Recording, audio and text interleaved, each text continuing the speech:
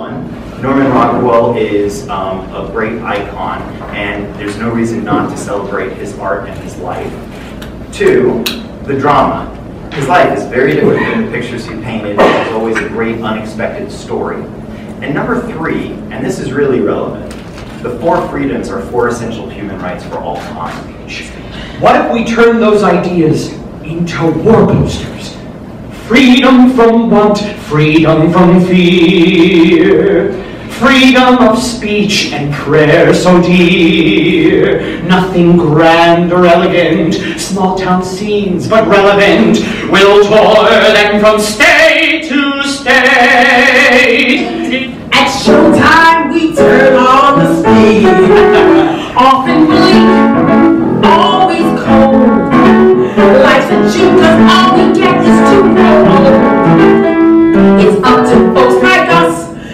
the fuss. Add glitter, pour tinsel, be bold. Now, if you're smart, you'll take this tip. No one likes a of it and make it. You'll be the star of the show. He now has the courage to approach Irene O'Connor, a school teacher he just met at the boarding house in New Rochelle.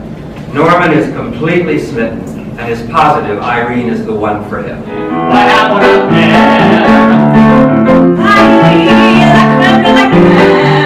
It's time to shed those fears and cross out any clouds. Take that leap with me. I Guaranteed. Take the leap with faith.